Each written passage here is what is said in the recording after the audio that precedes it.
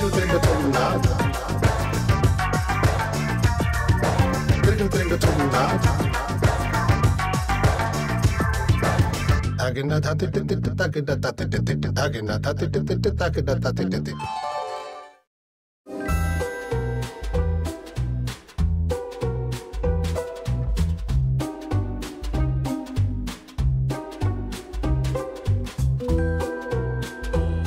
Dragii noștri, ne aflăm în uh, sat Corzu, comuna Bâcleș din județul Mehedinți, o zonă care pe vremuri era bântuită de haiduci și unde mulți boieri își aveau moșiile. Aici se spune că sunt foarte multe comori îngropate și că noaptea sunt flăcări pe comori. Multe legende vorbesc des- despre lucrul ăsta și o să întrebăm bătrânii din sat să vedem despre ce e vorba.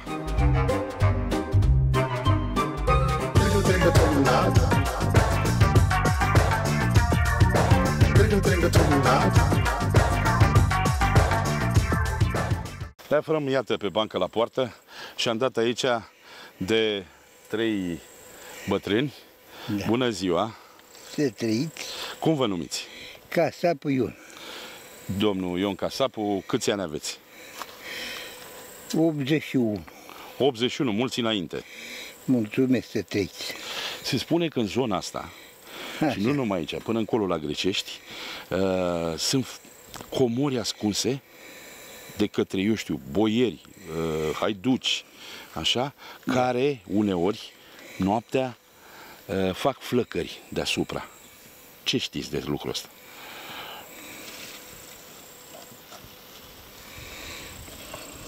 Nu înțeles să bine. De comorile astea ascunse Așa. în pământ. Ce Da. știți? Păi ce să știu? Uh, Ce să vă spun eu dumneavoastră așa din, din, din auzite, Da. din auzite, eu nu am văzut, n-am, cam a treia spiță în urmă de la mine, cam trei, s-a fost odată, s-a o zic că ar fi fost juc, niște bani jucați pe aceea. Jucați? Cum adică jucați? Păi așa era atunci, cum era. Și eu, noi am văzut ca să știu cum a fost, dar din auzite așa, din noi bătrâni, a treia spiță. Am auzit și eu că a fost atunci cândva. Și Da. s-a Cum? dus să caută oamenii și nu știu ce și uh, dus pe acolo și căutând, bă, pomenit, a venit o vigilie de, de vânt cu apă, cu, cu ploaie, Da? ploaie și din la vale a venit ăla și ei s-a luat la ceartă și a plecat pe acolo, pe unde a cre- crezut ei cine a fost atunci și a, a, a plecat acasă. Ce se A întâmpla dus de și- fapt? Cum? Ce se întâmpla de fapt? De ce s-au certat? Păi s-a pus ploaia și vigilia și pe urmă mașini, zice că a venit mașini și oaia li s-a pus. Opa. Uh, Căzu în măr.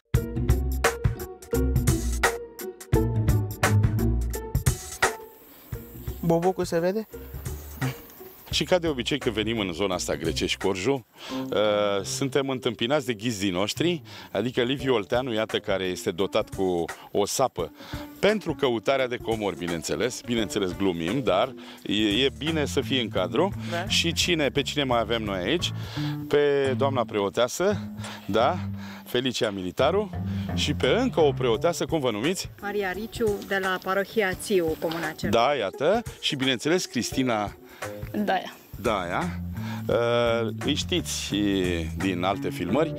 Cu ei o să mergem să vedem uh, ce se știe despre legenda asta cu jucatul banilor, Da. cu flăcările pe comori.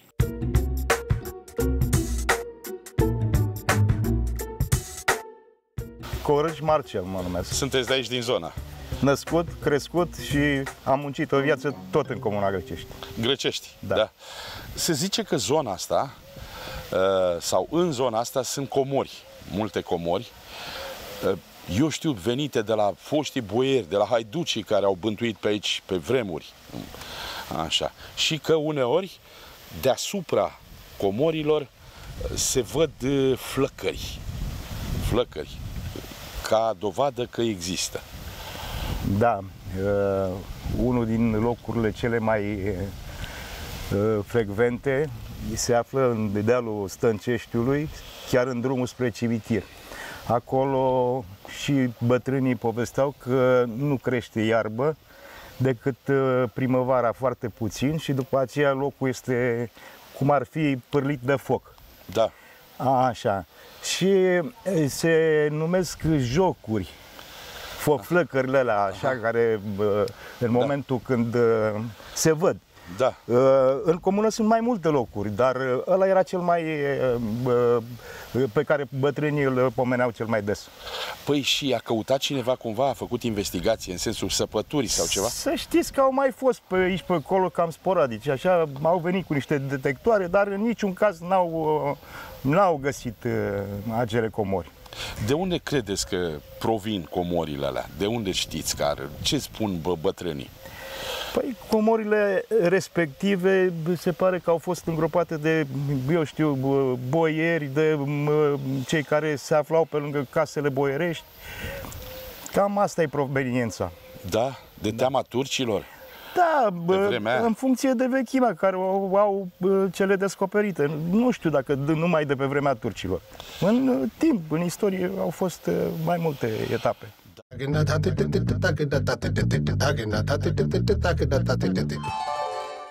Dar găsiseră vreo comoare ceva? Care a fost treaba? Păi așa ar credea ei atunci, aia uh-huh. cine a fost că e ce. Da, ei n-a găsit că n-a putut să... Uh-huh. U, Dacă s-a pus ploaia, a venit mașini din toate sunete și alea din aia, ei au luat-o care și încotro. Bobucul se vede? Legenda comorilor, Liviu Molteanu. Da, eu știu de la ai mei de la ei bătrâni uh, un caz concret în care chiar au găsit căldarea cu bani. Vasile lui Zâmța de la Gropanile de la noi îmi povestea uh, fina mea Iulica care trăiește și mi-a povestit că acest Vasile bunicul ei, când era el băiat, se întorcea de, de la Albulești într-o noapte de la bal. Și erau vreo șapte-opt băieți și când uh, se întorceau ei au văzut uh, la marginea pădurii Albulești cum jucau banii la, la rădăcina unui dud. Din toți n-au vrut să se ducă toți să... Adică jucat banii, flăcările. Erau, respect- erau niște bolovani de jar. Așa Ah, îmi spunea ah, ah, ah. fina Iulica. Erau niște bolovani care săreau așa cum sare scânteiul pe vatră când e Da, pâinea da. de băgat în vatră. Da. Și din toți s-au dus vreo 3-4 acolo la Dud, au luat uh, săpe, au luat uh, târnă coape și uh, ce să vă spun că se spune că acești bani joacă numai în zile de sărbătoare, de Sfântul Gheorghe, în noaptea de înviere de Paști și în ajunul Crăciunului. Deci probabil se întâmpla într-una din zilele astea. Da. Și când s-au dus acolo, au săpat 2 metri. Când au ajuns la căldare, au dat de, de toarta căldării. Au Da. scors, erau numai uh, galbeni și de-ai mari și de-ai mici, cocoșei. Da. I-au împărțit ei, nu știu ce, și să știți că, indiferent ce se spune, ei sunt blestemați. Pentru că mai târziu s-a întâmplat ce s-a întâmplat încât nu neapărat asupra lor blestemul s-a pus, dar s-a pus asupra nepoților, asupra copiilor.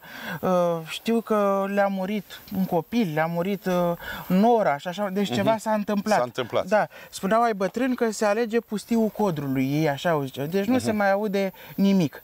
Da. Și aici că suntem noi la Corz, uh, bunica mea, Corâci Vatița, îmi spunea că a fost aici uh, un băiat cu, cu unchiul lui s-au dus. Asta, era bunica mea mică, deci se întâmpla pe la 1940 și ceva. Da. Și când s-au dus să îi scoată comoara, uh, au scos și la două, trei săptămâni a murit copilul.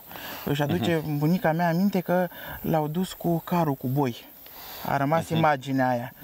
Tot din cauza faptului că banii erau blestemați. Și își luau pământuri, își luau, uh, uh, își construiau case, se duceau cu banii și vindea la Strehaia. Și nu au mai făcut nimeni nimic. Da. Nu s-a mai auzit nimic, n-a, n-a rugă ce mai spus cineva că să știe tot. uh, Ce am auzit eu la mine din sat Obusu? La noi se zice că aceste comori Da, sunt ascunse de tâlhari sau de haiduci. da, Nu se știe clar. e clar exact, dar uh, la noi se mai zice și paracomorilor, așa se denumesc comorile astea. Și ce mi s-a părut mie interesant cu privire la aceste comori care sunt îngropate. Dacă în timpul anului focul este prezent, focul și apa sunt două elemente Da. da. care sunt în viața omului. Acum ne referim la foc. Avem uh, de sub medru, de joi mari, de la satul secului, Da. se aprind focuri. Mhm. Fie pentru sufletele morților, fie pentru celor care se pregătesc pentru post. E, acum aceste flăcări nu sunt aprinse de mână omenească. Asta mi s-a părut ceva deosebit. Și uh, ce am auzit eu, că de cele mai multe ori apar noaptea aceste flăcări. Uh, Cineva de la Bărboinea Ceacăru Aurel mi-a spus că și ziua, pe parcela unde se numește Moșie, unde știu cei bătrâni, ar fi, s-ar fi aprins și ziua, se vedeau așa pe deal cum, cum ard. Și la Busu, cei mai mulți mi-au spus că noaptea, n-am, n-am auzit de ziua, deci mi s-a părut un element interesant. Și uh, Tanti Tinca lui Paidov mi-a spus, de exemplu, că ea știe că uh, aceste comori se aprind la înviere. Ea știe și ea de la cei bătrâni, Da, ai ei. da. Și spunea că cei care vedeau, se vedeau de oricine, dar cei care vedeau și se apropiau, când se apropiau nu mai găseau locul. Se pare că nu era pentru cel care văzuse, se ascundea comoara.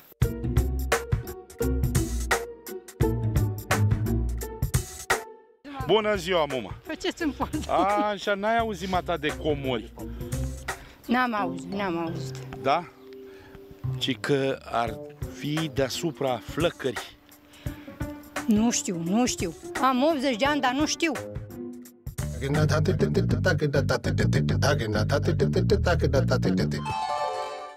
La Gogoșu e altceva.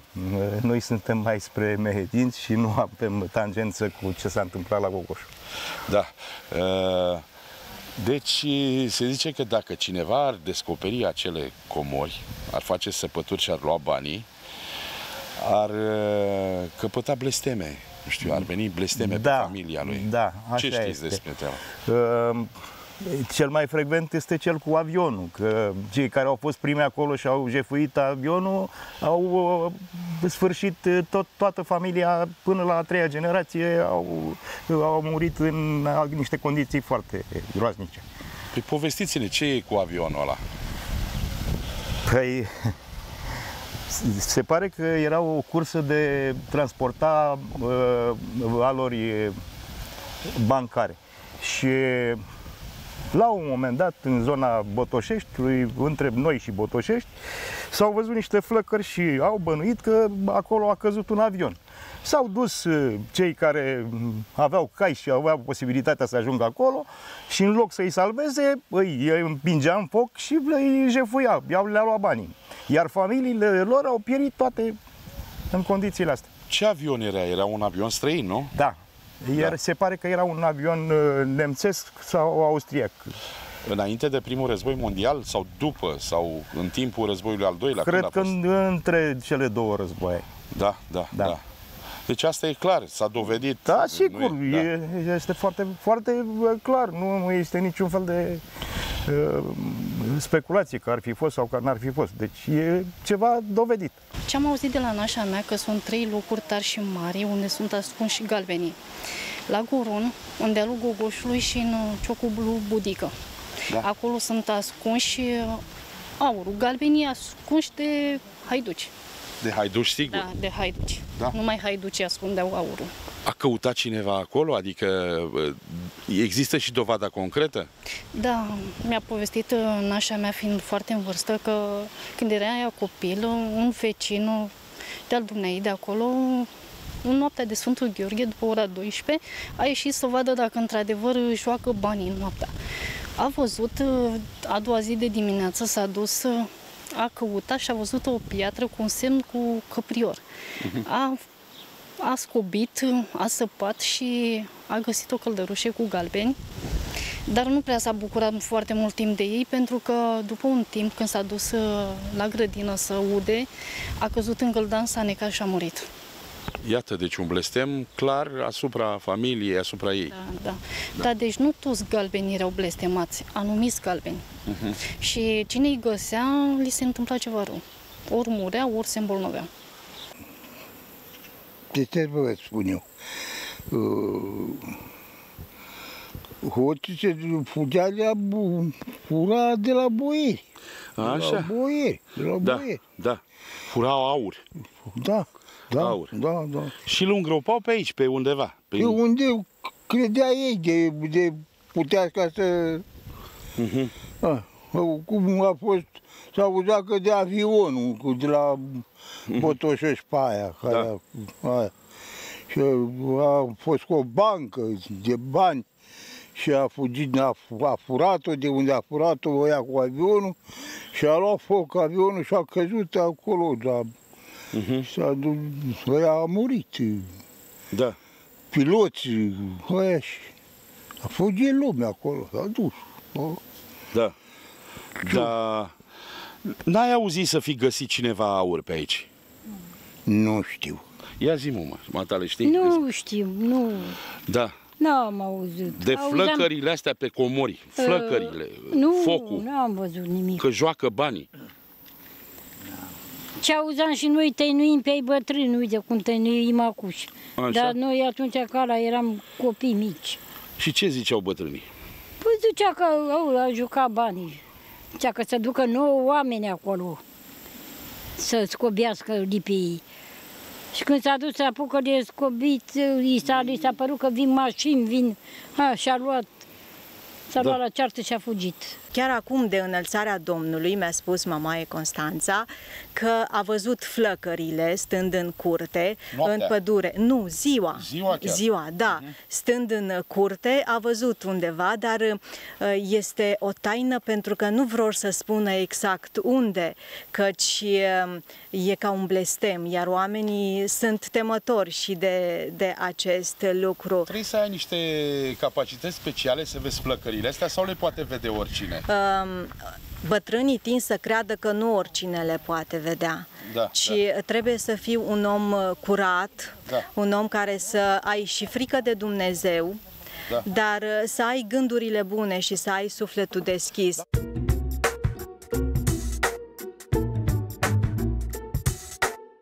Cum vă numiți? Dogarul Ecaterina, dar pentru toată lumea Tanti Tinca. Așa Tanti sunt Tinca. cunoscută Tanti Tinca. În comună. Uh, Ce știți despre comorile astea și despre legenda legată de flăcările care erau deasupra Da. comorilor? Păi să vă povestesc, că aveam undeva peste dealuri acolo pădure, mama avea moștenire de la părinți, vreo 20 de ani. Și s-au dus într-o noapte să taie și ei un lemn, că era interzis ziua, era zăpadă. Și s-au dus până acolo, au tăiat cu joagări, cum era pe timpurile alea, s-au tăiat acolo, s-au chinuit. Și la un moment dat s-au trezit cu flacără, jos era o vale, așa, un ogaș, cum îi spunem noi. Da. Odată, așa, albăstrie, roșie, s-a înălțat a treia oră și mai rău a dispărut, deci de trei ori. I-a cuprins teama, vă dați seama, în câmp acolo. Și când să ia lemnul, tăiaseră așa cam de vreo 4 metri, să ia amândoi de el, nu era prea gros, așa 15-20 de centimetri diametru, l-a luat pe umăr, nu mai știau încotro să o ia. Uh, unul trăgea încolo, unul încoace, să rătăciseră, nu mai veneau spre casă, o luau spre localitatea cealaltă. Când uh, la, la Glopane Silviu, chiar la frunză, la capătul busulețului acolo, drumul de duce pe la moară, trecea pe, peste, pe lângă pădurea noastră și coborai la în Ogaș, la Gropani, și te duci la frunză, în capul busulețului. Culegeam fragi acolo pe margine. Și ce credeți? Au auzit cocoșii cântând că merg spre satul ăla și că de până la noi era departe, aici, câțiva kilometri. Și s-au întors înapoi și au venit acasă, vă spun, ziua au zăcut, n-au, s-au sculat din... Le-a luat mințile cum ar? Da, s-au z- speriat tare rău, dar nici că s-au mai dus la pădure. Băiatul lui Neatitu, Brăgaru, Iancu, mi-a zis că tata lui era cioban. Și pe la fântâna lui Cioc, unde e acum un tei acolo mare, uh, erau mai multe bordei. Stăteau ciobanii cu oile. Da. Și uh, acolo în zonă se pare că ar fi fost mai multe flăcări. Uh, e ceva deosebit cu flăcările astea. Da, e, interesant mi se pare că nu numai într-un loc s-au văzut aceste flăcări pe comori, ci în mai da. multe locuri. Da, uh, uite, da. Da. Acum îmi dau seama că aceste comori nu erau îngropate în sat. Da. Erau la marginea satului unde- și trebuia să stai în natură ca să le vezi. S-au îngropat, să știți, foarte mulți bani. Uite, spre exemplu, la Țiu am un verișor de alu mama, cel care are barul pe dreapta, cum intri în Țiu. Da. acolo cu o roată de car, cu așa. Și odată ducându-se la Gogoș la magazin, l-a întrebat un bătrân, mă, puștane, de unde ești? Uite, de la Bărboi. Măi, al cui, ce poi, nu știu ce, măi, păi eu cu bunicul tău am îngropat o căldare de bani la părul vostru din vie. La creanga din, nu mai rețin, stânga sau dreapta, deci pomul începea cu o creangă mai jos. Păi cine a mai știut, domne, dacă a venit colectivul Arad de la deal la Vale, n-au mai știut unde, Dar a, părul există. unde a fost părul. A, Pe nu asta mai- nu, nu s-a mai mai. găsit pomul și Da. cred că dacă s-ar duce cu un aparat de la de detectare pe terenurile alea, eu cred că ar găsi că bătrânul ăla așa a zis că au îngropat și puneau jurământ, să știți. Da. Și puneau jurământ când uh, depunea banii să nu umble niciunul până nu se duc toți.